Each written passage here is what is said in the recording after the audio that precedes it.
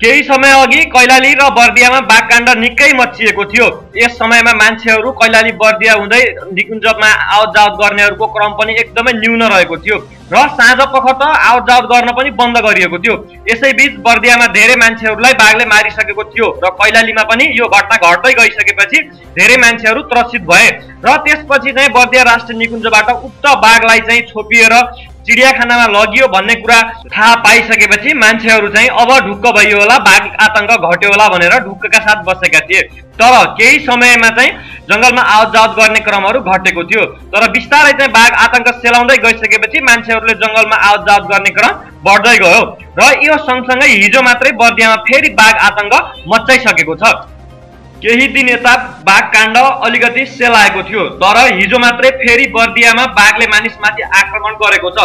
जिल्लाको प्रहरी कार्यालय बर्दियाका अनुसार बुधबार दिउँसो पाटे बाघले एकजना वृद्धमाथि आक्रमण गरेको हो। साँझ पाँच बजेतिर मधुबन नगरपालिका एकको औराई सामुदायिक वनमा बाख्रा चराइरहेका सोही नगरपालिकाका इन्द्रपुरका चौरात्तर वर्षीय लालबहादुर थारूलाई बाघले आक्रमण गरेको हो।